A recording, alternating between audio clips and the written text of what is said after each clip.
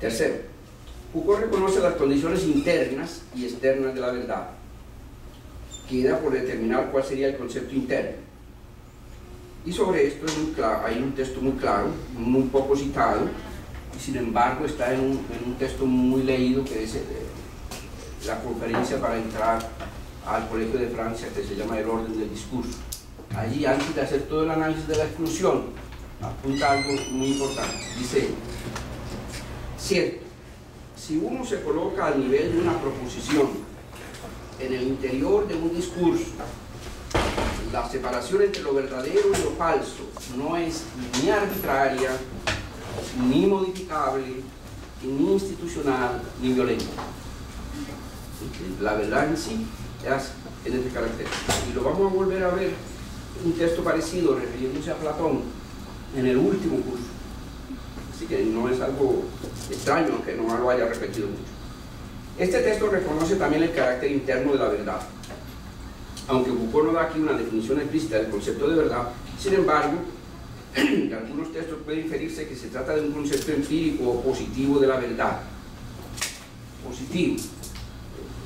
Foucault dice en, en la arqueología del saber que él es un positivista afortunado. Y eso de positivista en realidad tiene un sentido muy preciso, y es que el tipo de indagación que él hace es histórico. Una masa de documentos enorme que él maneja para la locura, para la historia de la prisión, siempre él está en los archivos. De manera que lo que él está diciendo se apoya en eh, una, siguiendo un, consejo de Nietzsche. Dice que hay que, hay que eh, preferir la documentación gris que está eh, escondida en, los archivos. Ahí hay que investigar la historia de, la moral, dice Nietzsche. Entonces Foucault aplica la historia a la verdad. Bueno, uno de esos textos es el siguiente, Paradoja. Una de las raíces más sólidas de la pena de muerte, este es un texto irónico, es el principio humanitario, científico, de que lo que se juzga no son crímenes, son crímenes, no criminales.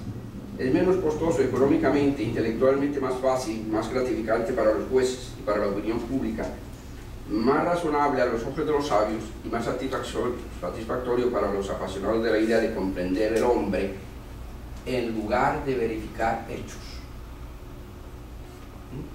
Y Paul Vine, que es uno de los amigos estudiosos de, Foucault, dice que ese es el, criterio que él usa para su propia teoría.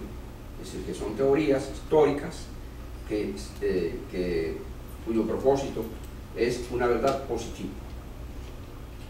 Bueno, comprender hechos pertenece a la hermenéutica tradicional que Foucault rechaza. La arqueología no es hermenéutica y la genealogía promueve un tipo de interpretación de inspiración nichana. De aquí, de ahí que a diferencia de Bátimo y Derrida, el concepto de verdad en Foucault nada tiene que ver con la conservación o la tradición. Derrida dice explícitamente que verdad es lo que conserva. Y prácticamente el concepto hermenéutico de verdad es tradición.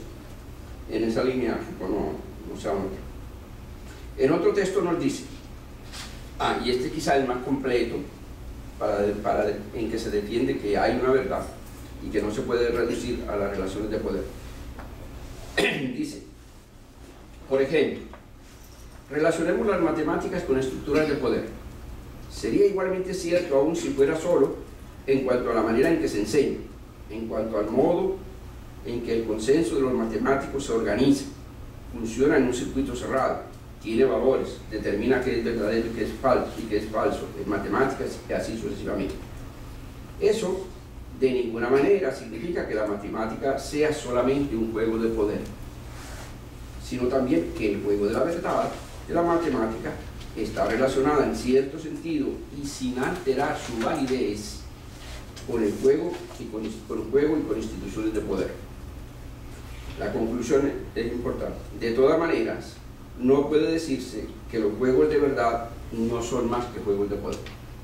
Ese es el texto más claro en cuanto a que la verdad no se puede reducir al poder, aunque esté muchas veces eh, institucionalmente enmarcada dentro de esas relaciones de poder. como ocurre en los departamentos, que es la cita que él hace ahí. Este concepto empírico positivo, eh, índice positivo, a mí me gusta más la palabra empírico, eh, parece oponerse a otro texto en que Foucault relaciona verdad y ficción, que también es muy citado, ese es otro texto que es muy citado por los modernos y por algunas personas eh, del área de la literatura y el arte. Dice Foucault, en cuanto al problema de la ficción, es para mí un problema muy importante. Me doy cuenta de que no he escrito más que ficciones. No quiero, sin embargo, decir que esté fuera de la verdad. Me parece que existe la posibilidad de hacer funcionar la ficción en la verdad, de inducir efectos de verdad con un discurso de ficción y hacer de tal suerte que el discurso de verdad suscite, fabrique algo que no existe todavía, es decir, ficción. Se ficciona historia a partir de una realidad política que la hace verdadera. Se visiona una política que no existe todavía a partir de una realidad política. Hasta ahí el texto de Foucault, eh, muy citado, muy interesante, problemático, ¿verdad? A mi modo de ver, Foucault usa aquí un concepto pragmático de verdad. Se trata de producir cierta transformación, cierto cambio, y aunque no sé si la teoría es verdadera, la lanzo como ficción, a modo de hipótesis, para ver si trae efectos de verdad. Después, Foucault se mueve entre un concepto empírico de verdad, verificar hechos, y un no pragmático, ficcionar hipótesis, para ver si los, cambios las verifican. Eso se parece mucho a, una de las tesis de Marx, que dice que la verdad no es algo escolástico, eh, tesis sobre Hoyer, sino que es en la verdad, en la práctica, donde se, prueba la terrenalidad del pensamiento. Esa es la tesis de Marx, y tiene cierta analogía con, esa tesis de la ficción de Marx. De, ok. en los últimos escritos hay un énfasis en la relación ética entre verdad y subjetivación, y este también entonces es la parte novedosa de los últimos. Dice Foucault, hay un conjunto de técnicas que han tenido por finalidad relacionar el sujeto y la verdad. Cierro la No se trata de decir la verdad del sujeto que éste ignorara para hallar su propio yo si se trata de hacer de esta verdad retomada, memorizada progresivamente, puesta en aplicación, un cuasi sujeto que reina soberanamente en nosotros. Es una verdad subjetiva relacionada con el cuidado de sí mismo, con libertad, una verdad autoliberadora.